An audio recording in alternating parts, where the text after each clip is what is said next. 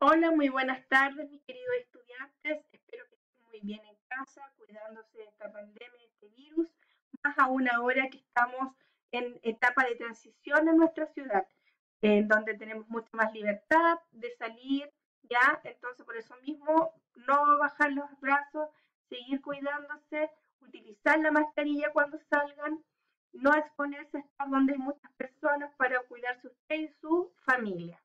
Vamos a ver entonces lo que eh, vamos a revisar la guía 14, eh, la guía integrada de lenguaje, comunicación y electricidad. Vamos a revisar los objetivos fundamentales en lenguaje. Es el número 5, producir diversos tipos de textos no literarios y literarios adaptados a diversos requerimientos personales, sociales y de estudio. El objetivo de aprendizaje de electricidad, dibujar planta arquitectónica de una casa habitacional según norma NSH 284. Vamos a revisar los objetivos de la guía, el lenguaje, identificar un texto literario y un texto no literario, sus características, función y tipos. En el caso de electricidad, conocer función de un protector diferencial de casa habitacional. Revisaremos las instrucciones generales.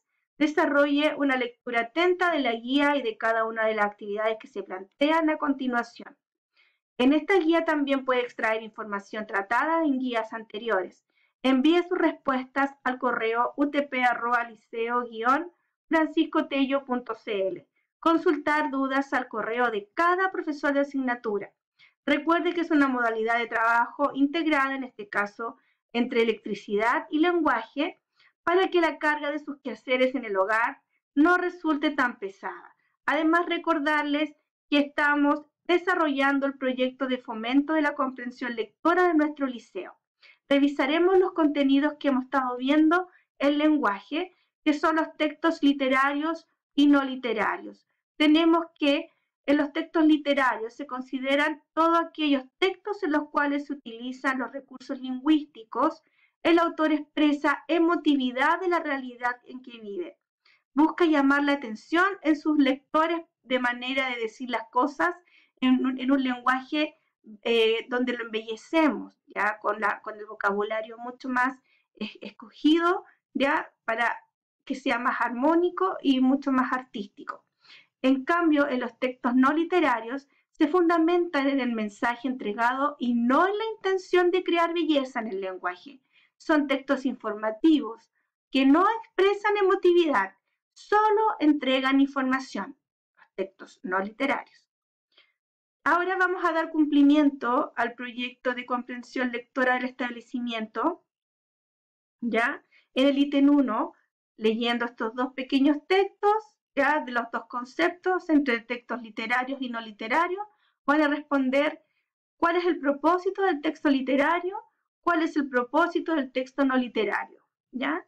Tenemos acá el ítem 2, clasificar los siguientes textos en literarios o no literarios. Los colocamos ahí abajito, observando la imagen, colocamos la clasificación, literarios o no literarios.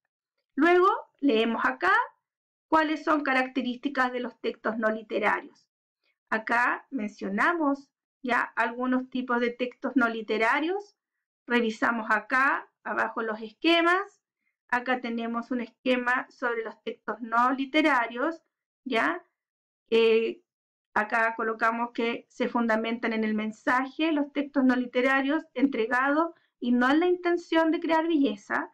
Tenemos dos tipos de textos no literarios, normativos e informativos, y acá en qué consisten. Acá nos explican ya qué lo que es un texto informativo. Aquí estamos hablando de la clasificación de los textos no literarios, que serían estos. Luego, textos normativos, que es un tipo de texto no literario. Tenemos cuál es su función, lugar del que se enuncia, lenguaje, tipos de obra en la que se usa. Tenemos acá un esquema donde está la clasificación de los textos informativos, la noticia, informe, cartas. Luego, después de ver todos estos esquemas, esta información, nosotros respondemos el ítem 3 que va con puntaje, que va a ser evaluado ¿ya? es un ítem de selección única en donde ustedes leen la pregunta y tienen que elegir la alternativa correcta encerrándola en un círculo. Solo son cuatro preguntas en donde ustedes eligen la alternativa correcta. Y terminamos en que aprendí identificar un texto literario de un texto no literario, reconocer las características y funciones de diversos tipos de textos no literarios. Tenemos nuestro solucionario para después comparar, solo comparar y no copiar comparar las respuestas suyas en los primeros ítems. Luego, acá vuelvo a recordarles que el ítem número 3 será evaluado con 8 puntos máximos, ¿ya? Y transformado en un porcentaje. Este es mi correo donde ustedes mandan sus consultas, sus dudas, el horario de atención. Y este es el link para que ustedes profundicen mucho más los contenidos de esta guía. Vamos ahora a ver, a revisar la guía de electricidad, donde aquí en la primera parte ustedes van a ver un resumen de los contenidos vistos anteriormente. Luego tenemos acá lo que es el interruptor diferencial, que son los contenidos de ahora. Eh, tenemos las imágenes, las partes. Tenemos acá el protector diferencial, una imagen, ya los componentes de cada uno. Acá tenemos las imágenes, ya. Luego tenemos cantidad máxima de conductores de aislación plástica que entran en la cada medida de las molduras. Acá están la información. Y esto es importante, ¿ya? Para que ustedes profundicen mucho más en estos contenidos, hagan un video explicativo en este link donde ustedes pueden ingresar y está el video ya explicado, todos estos contenidos que están acá.